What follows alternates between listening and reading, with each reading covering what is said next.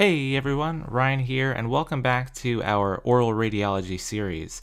This video is going to focus on the different factors that can affect x-rays and the radiographic images. So we have to start with two important definitions, intensity of the x-ray and energy of the x-ray beam. So intensity has to do with the quantity of electrons and the resultant number of photons. And this has a direct result on the density of the image. So radiographic density is reflected by the overall darkness of the image. So the image on the right is the result of a more intense X-ray, resulting in a denser and darker overall image as compared to the one on the left. Energy, on the other hand, has to do with the quality of electrons and resultant energy of the photons. So this has a direct result on the contrast of the image. So image contrast refers to how many different gray values are used in the image so you can detect certain changes that are going on. So this first image has a moderate amount of contrast. And you can still tell the difference between the enamel, the dentin, and the pulp layers. But the second image has arguably a bit more contrast, and you can perhaps more easily see the caries on this tooth on the interproximal surface thanks to that additional contrast. One way to remember these is that the intensity and density, those two words, share the same six letters at the end of those words. So that's kind of how I like to remember intensity goes with density, and then that leaves energy and contrast being paired together. So now we'll discuss some common factors that relate to the radiographic exposure and how we can modify both the intensity of the X-ray beam as well as the energy of the X-ray beam depending on what we want out of our image. So exposure time refers to the length of time measured in seconds that high voltage is applied to the X-ray tube and the time during which the tube current flows and X-rays are produced. So this setting impacts beam intensity, so the number of electrons and the number of resultant photons. Exposure time is the one setting that is most frequently changed. You can change exposure time with literally a click of the button. And so this is something that they could ask on the board exam. Modulating the exposure time is very easy to do. So bigger patients, uh, adult patients, typically for those kind of patients, the exposure time is going to be increased. We're going to increase that exposure time. For smaller patients, edentulous patients, patients without teeth, and children, the exposure time is decreased. So this number can also be decreased when uh, direct digital sensors are used because they're more efficient than the classical traditional film or the PSP plates. So if, if exposure time is too long, let's say you have a small child and you have that exposure time set too long for them, you're going to get an overexposed dark image. If it's too short, you get a noisy, underexposed light image. So note that all the graphs that I'm going to be using for the next few slides are set up exactly the same. So intensity is graphed on the y-axis, that's the number of photons, and energy is going to be graphed on the x-axis. So here you can tell we're directly impacting the intensity. The photon energy stays the same from 0 to 70. It's just the relative number of photons that's increasing as we change this from 1 second to 2 seconds of exposure time. Okay, so tube current is measured in milliamperes, and that refers to the flow of electrons through the X-ray tube from the filament to the anode and then back to the filament again.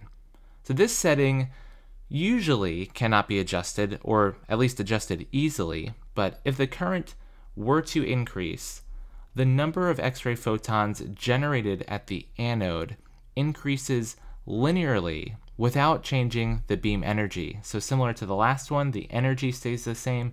It's the intensity of the beam that's changing. So this causes a higher number of photons to reach the receptor, and this increases the density and darkness of the image, as we would expect. Intensity goes with density. So too much tube current, again, we're going to have a too dark, overexposed image. Too little tube current, a noisy, underexposed image. Very similar to exposure time, those two are intimately linked together. Okay, how about tube potential? So tube potential is measured in peak kilovoltage. So peak kilovoltage is the measuring for this one, and it refers to the acceleration of electrons from the cathode to the anode, which is responsible for generating those photons like we saw in the first video. When the KVP increases, both the number as well as the energy of the X-ray photons generated at the anode increase. So this means that not only do we have an increased number of photons hitting the receptor, but also an increased energy of the photon beam. So not only is there an in increased number of photons, but also an increased number of photons with higher energies that are reaching the receptor, which leads to an overall increase of density at a greater scale compared to just increasing either the tube current or the exposure time. So we're increasing both intensity and energy as we increase that tube potential. So if it's too high, the image will be too gray with not enough white-black contrast. And the photons will mostly interact with their target by Compton scattering, and we'll talk more about that in the next video. If the tube potential is set too low, the image will be overall too light and the contrast will be way too high. So the photons in this case would mostly interact by photoelectric absorption. And again, we'll talk more about these two terms in the next video. It's called peak kilovoltage because it's defined as the maximum voltage of an X-ray beam. It's usually set between uh, somewhere between 60 and 70 kilovolts, and increasing that maximum energy will also increase the mean energy of the beam. And the average is usually somewhere around one third, whatever that maximum setting is. So the big thing here, messing around with tube potential is going to affect both intensity, so it's going to affect both our density as well as the energy, so it's also going to affect the contrast of the image. Filtration is a normal mechanism built into most dental x-ray units used today, and we briefly talked about this in the last video. Any x-ray beam will consist of a range of photon energies from low energy to high energy, and aluminum, or sometimes copper, preferentially filters out all of the low energy photons, reducing the overall beam intensity, and therefore reducing the dose that the patient receives, while also improving the image quality because we're filtering out those low energy photons that we don't necessarily want. So at the same time, it also increases the mean energy of the beam, as we can see here, by filtering out all of those low energy photons that are all down here. So this is conceptually similar to the phenomenon of beam hardening, which refers to filtering or attenuating out the low energy photons, so getting rid of these photons down here, and keeping the high energy photons, thus hardening the X-ray beam, allowing it to penetrate that human tissue more effectively.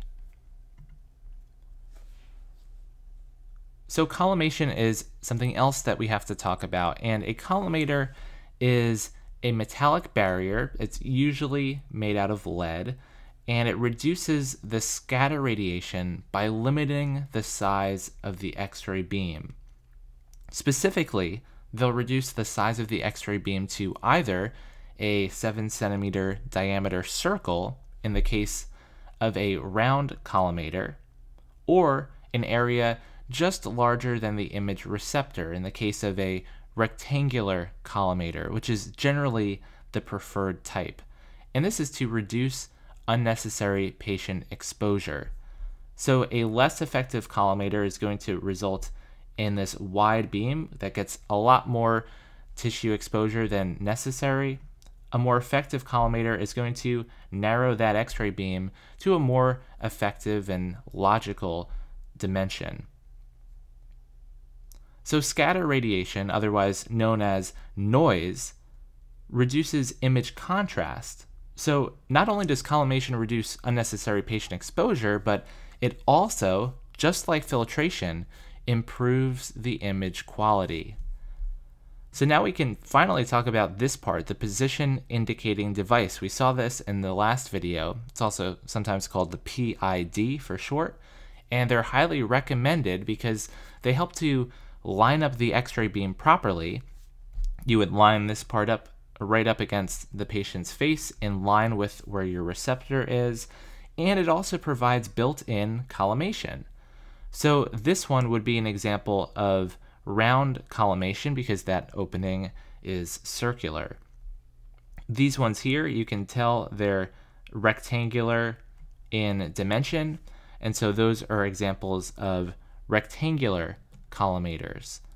Important for the board exam, the greatest decrease in radiation to a patient is achieved by collimation, specifically rectangular collimation. It's the best method to reduce radiation dose.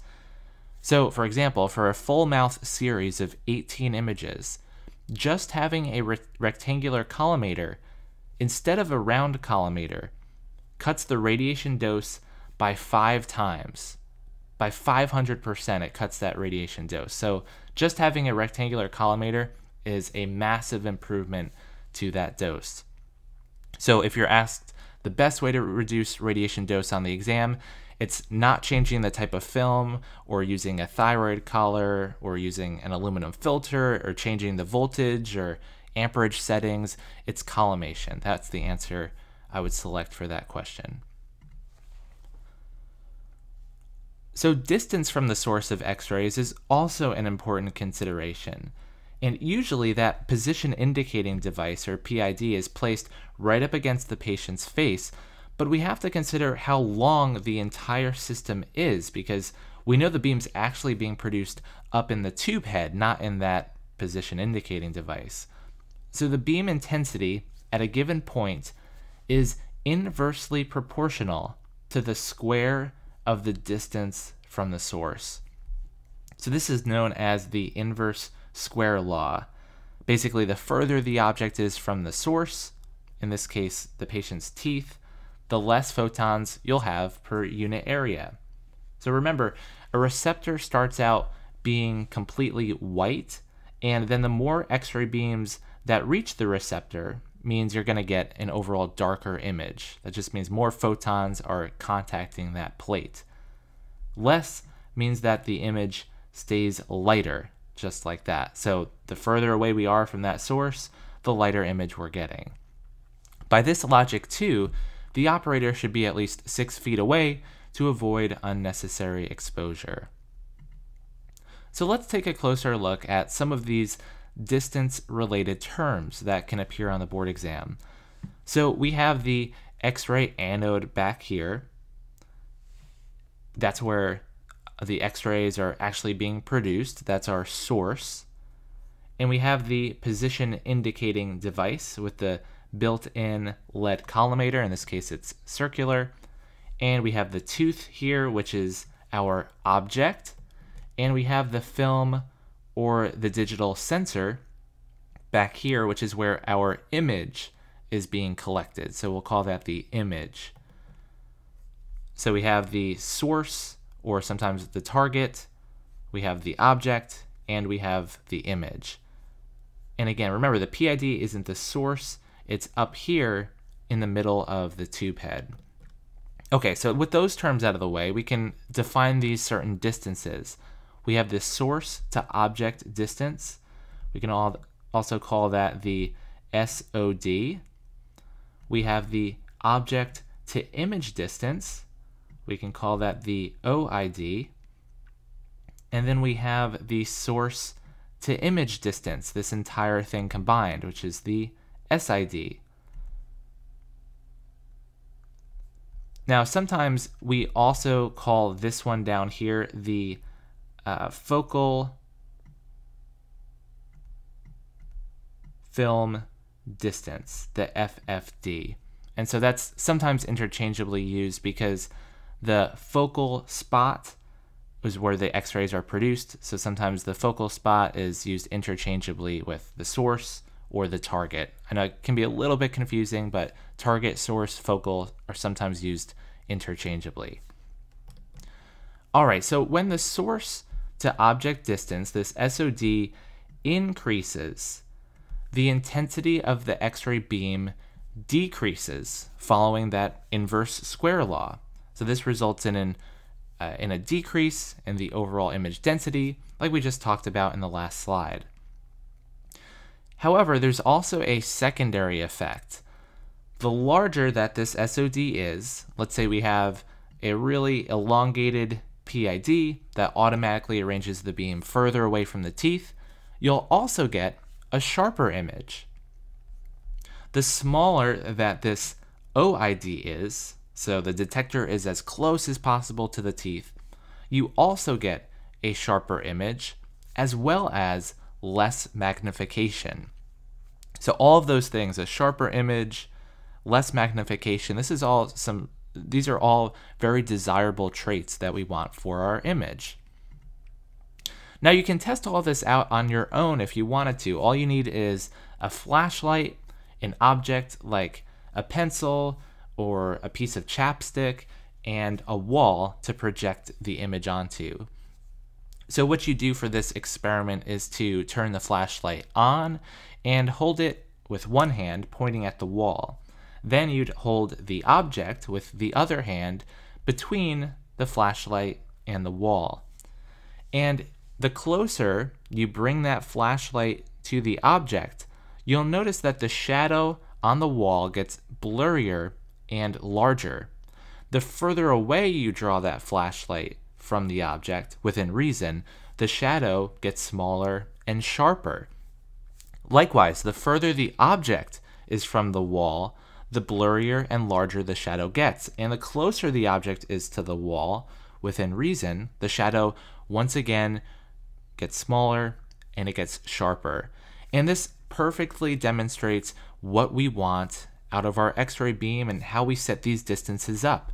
What we want is the maximum SOD and the minimum OID, which gives the best results via the sharpest image and the lowest magnification. We can also talk about this in terms of geometry. So spatial resolution, which is the ability to differentiate between two points on an image, is also limited by geometric unsharpness. So we have two more terms that we need to define here. Umbra refers to the shadow directly behind an image. This is where no light gets to at all. Again, you can think back to our example, holding up that flashlight with, the, with an object between the flashlight and the wall. The penumbra is the side shadow. This occurs around the umbra and it's where some light is present, but not a whole lot of light. So it looks a bit fuzzy, kind of like the fuzzy outside. Uh, it's it's fuzzy. It's outside to that dark, no light shadow part that's directly behind the object. The size of that penumbra depends on three things: the focal spot size, the source to object distance, and the object to image distance. So a smaller, we, we talked about these two already. The smaller a focal spot is, which means the smaller that light source is, for example, the size of an X-ray beam, the smaller that is, it'll produce a smaller penumbra and thus a sharper image. The penumbra is what we don't want. That's basically making our image look blurry and not as clear. So if we had a smaller flashlight, or a smaller X-ray beam in terms of its diameter, we're going to have less penumbra we have to worry about and just an overall better image quality. So the size of the penumbra or the blurriness of an image can be uh, explained by a very simple equation. That would be the size of the focal spot divided by the source to object distance. And then we could also throw in the numerator the object image distance. Because we want these top two numbers to be as small as possible. We want this one to be as big as possible. And so our blurriness will be as low as possible if we abide by those numbers. And just like on the last slide, you can test all of this out with a flashlight and a pencil, for example. And I suppose if you had multiple flashlights, you could try out different size flashlights and even see that phenomenon. So it's really cool how you can just uh, bring this to real life and be able to see this in front of your eyes and really, I think that'll really help all these concepts kind of sync together for you. So as you can see, the geometry is the limiting factor for sharpness and definition. It's all about those distances and how we use and uh, how we arrange all of the parts of this puzzle. It's not necessarily the sensor or the receptor that's responsible for this.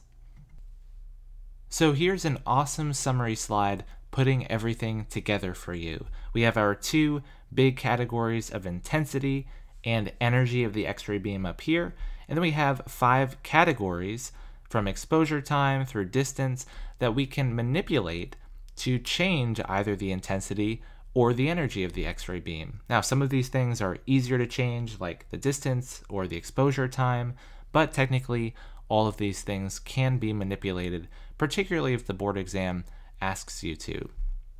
So, for example, we can just go across a row here, and if we increase the exposure time, we're going to increase the density, have no effect on the energy. If we were to increase the peak kilovoltage, we would increase density, but we would lose some image contrast. If we increase the filtration, we would decrease density of that image, but increase contrast of the image. So that's how the chart can be used. So if you got a question on the board exam that asked you, what are some reasons that this image is underexposed, which means it's too light, too grainy, or in other words, not dense enough, well, then we would go through the chart and we would basically flip these arrows around because if we have a decreased density, that means, well, we would have a, an exposure time that's too short. Maybe we have a tube current that's too small. We have a tube potential that could be too low. And then these arrows are pointing in the right direction. So that would mean that the filtration was too strong or maybe the source to object distance was too far. Another example of a question could be, uh, what are some reasons that this image has poor contrast? Well, we could say too low contrast, that means that the tube potential was too high, or if we flip this arrow around, the filtration was too weak. And so those are examples of how you can use this table to help answer a lot of the high yield focused board questions that you'll get. Now, I, I really do think that most of the high yield information that will be tested on for those radiology questions outside of interpretation, which we'll focus on in a separate video, this video has most of the good information that you need for these kind of questions. So that's it for this one, guys. Thank you so much for watching. Please like this video if you enjoyed it and subscribe to this channel for more on dentistry.